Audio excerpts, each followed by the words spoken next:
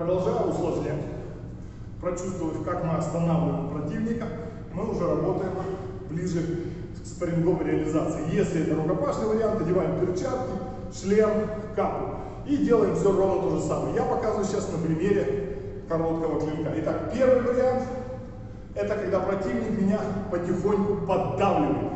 Он не спешит, не торопится. Моя задача, опять же, отстреливаясь, держать его на дистанции и маневрировать.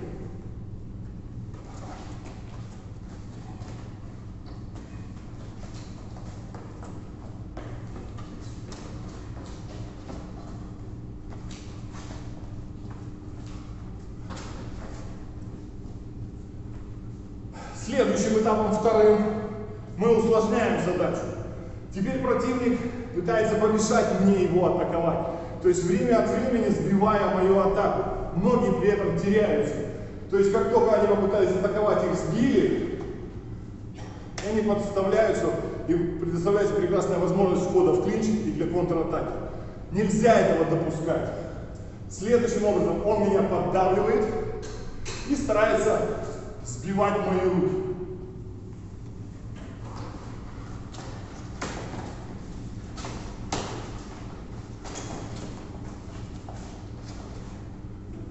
То есть моя задача осталась прежней. Более сложный вариант, третья ступень. Теперь противник не просто меня давит, он старается атаковать. Опять же, сначала спокойно, по мере освоения увеличиваем силу и скорость. Но пока как бы одиночные атаки.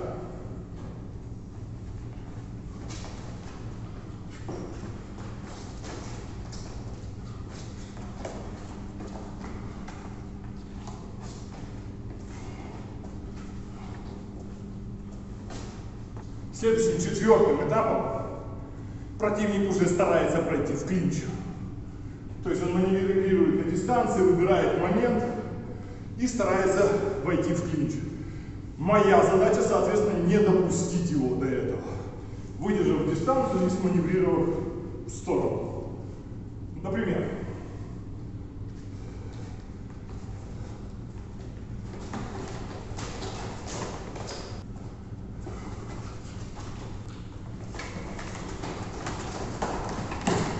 Ну и, соответственно, крайней степенью это будет уже отработка в свободном спарринге. Контроль дистанции противника, который старается по-свободному войти в клинч. Один интересный момент, который здесь можно на будущее уделить. Я могу перехватить инициативу. То есть, сейчас медленно. Противник старается войти в клинч. Я его держу на дистанции. И как только он понимает, что не получилось, я перехватываю инициативу и уже под контролем вхожу в клинч.